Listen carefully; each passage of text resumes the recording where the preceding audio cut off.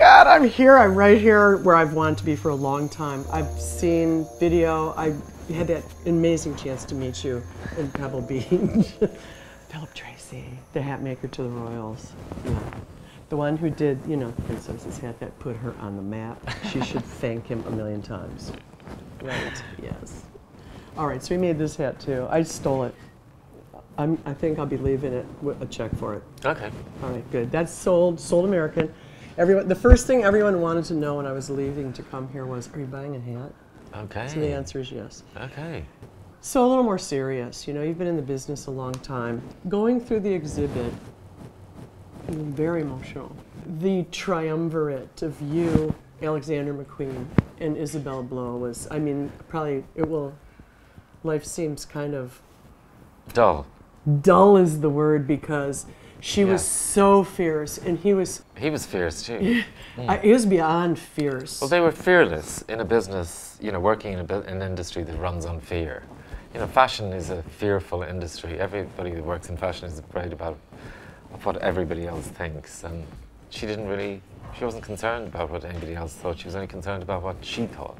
And she was uh, involved in my first, um, when I first worked with uh, Bentley and Rolls Royce. And we went to Crewe and visited the factory and saw how the cars were made and saw the craftsmanship. And so she had a correlation between sort of couture hats and couture cars. So she thought it was um, brilliant. She saw the hats everywhere.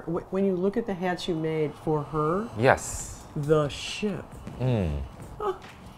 Well, Isabella didn't really see hats like everybody else sees hats. You know, she saw fashion as a form of entertainment. You know, fashion is an industry, it's a business, but it is also a visual entertainer. And whether you're entertained by a beautiful hat or a beautiful car, it still creates the same desire with the customer because they can't explain why they went to spend so much money on a car or a hat, but uh, it's it's a human emotion to desire beautiful things, and cars are beautiful things too.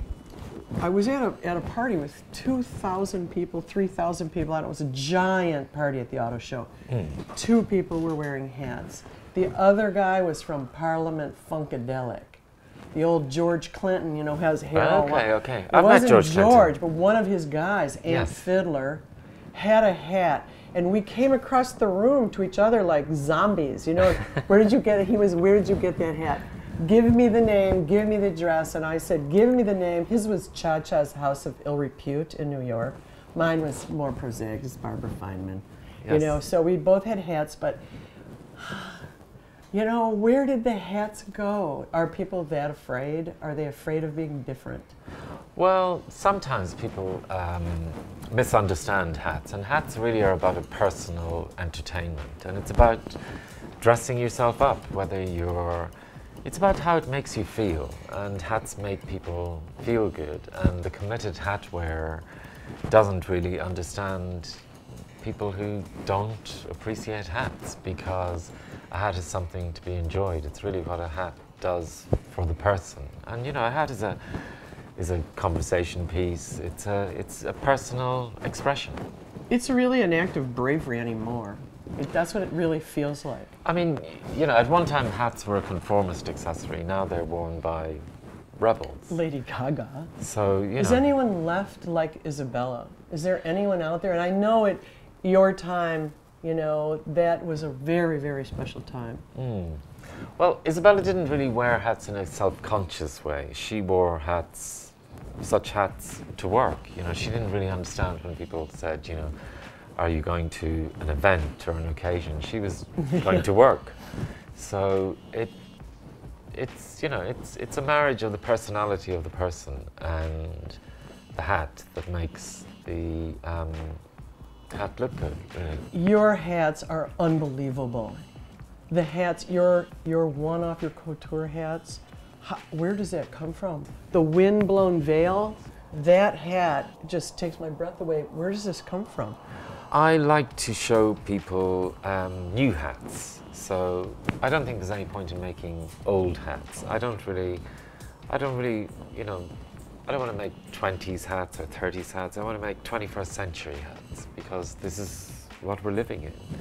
And people react to hats in a different way, in a more unusual way today than they did before. You know, hats are talking points and they create conversation and they create interest and they always have since the beginning of time. And people will always embellish their heads because everyone has a head and everyone uses their head, whether in, in different ways, to display their personality, whether it's with their hair or with a hat or with jewelry or with earrings. But, but Yeah. you know, when you meet somebody, you meet their face, you don't meet their foot.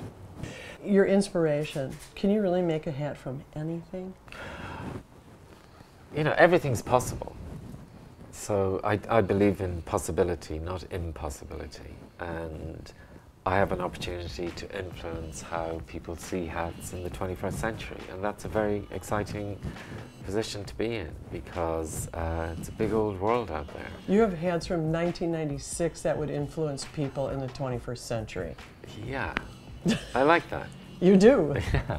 Could you just tick tick off just a couple of your all-time favorites, some that you were really proud of? Yeah, I mean, I like the ship hat and the castle because they're about uh, the possibility to create, to make people dream. And everyone's dreaming in some format today, whether they're buying, you know, a car or a hat. They're all buying, people are buying a dream. It's still, it's just, you know, it depends how you look at it. You know, it's just some fabric and some feathers, or it's just some metal and some rubber. But to some to people who are, you know, in love with it, it's they're buying dreams.